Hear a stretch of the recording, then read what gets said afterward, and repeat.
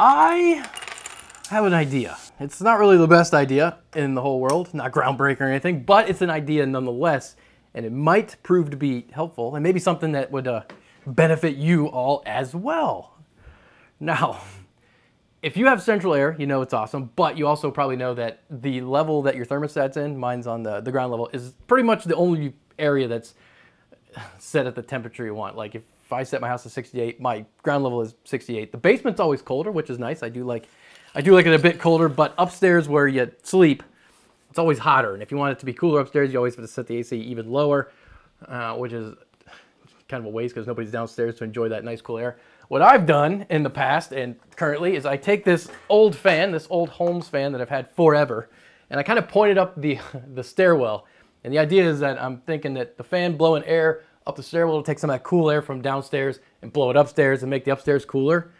I think it works. I mean, I've never measured the temperature upstairs, but I, in my head it's cooler, so I, I sleep better. But then I was thinking, if I get this old Holmes fan to just project air a bit further, it should be even better. Now my first thought, of course, was let's replace the fan blades. They, they're probably not that good, right? But you know, that doesn't really fit on my printer all that well. I'd have to cut it up, which is doable. But then I got to thinking, remember this thing? If not, Noctua had long said that they were going to create like a, a desk fan that they were going to produce. It was always on their like future products and it never really came to fruition. I don't even think it's on there. Uh, I don't think it's even on the list anymore. But we, we looked at the pictures of it from some of the press stuff and created it. And I remember noticing way back in that video that this thing, when put on the A12X25, projects air quite a bit further. It does a pretty good job. And I was like, well, if we make this, but larger to fit on this fan, should, should do the same thing, right?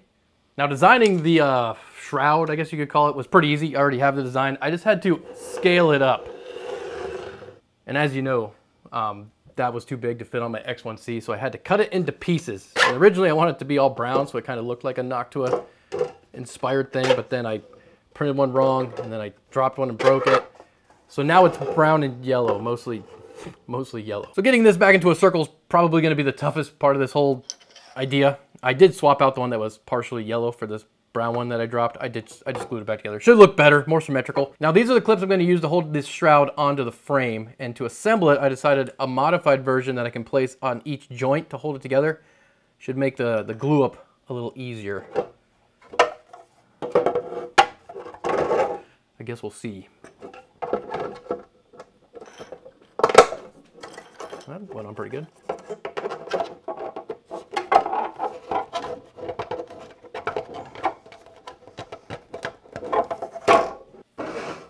Not too bad.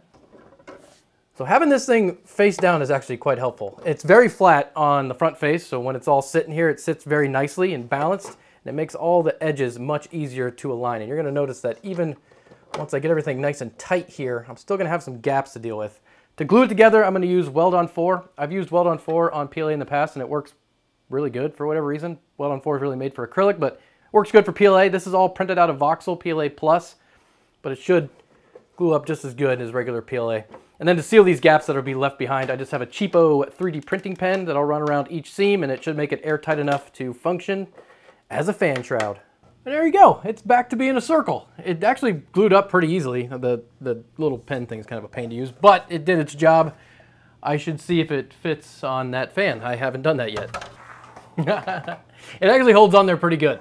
I, I, did get a little overzealous with my clearancing uh, between the this bottom part here and the, the, the hub of the fan. So it, it's just barely touching. So I gotta, I gotta solve that riddle real quick. And then we'll see if I made it better. yeah, so I put a spacer behind the finger guard to give it a little more clearance. But for the time being, it's set back to how it normally comes out of the box. And I have this tape measure because I can't find my laser tape measure. And we're gonna measure how fast the wind speed is back by this wall. So I'm about 10 foot away from the fan. And using this anemometer, I see a wind speed of somewhere between 250 and 300, I'd say. And with my Noctua inspired shroud, I see, I would say between 350 and 400, which is a, that is an improvement, I guess. Interesting.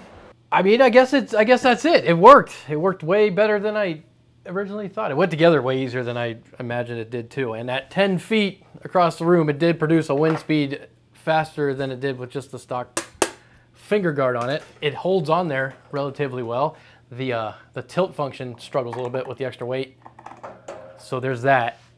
Um, but after I ran, you know, after I seen on the anemometer that it produced a higher wind speed at 10 feet than it did with just the stock cage on it, I did put it over on my stairs, aimed it up them, kind of exactly how it's set up upstairs. The stairs are exactly the same, same length, and I ran some smoke through it, and it did produce a tighter, quicker looking flow than it did with just the stock cage on it. Does that mean I'm going to use this all the time? I, I don't think so.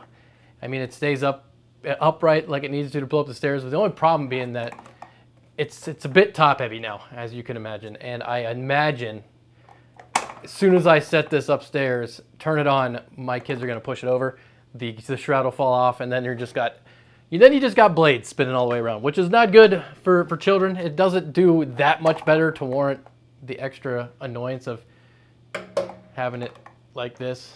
But it did work and it was fun to make. We made it exactly as we did the tiny little dock, Noctua desk fan. It operated in the same way, except for now it's on a 16 inch stand fan. So if you have any ideas for future videos, make sure to leave me a comment down below. Thank you all for watching. I'll see you in the next one.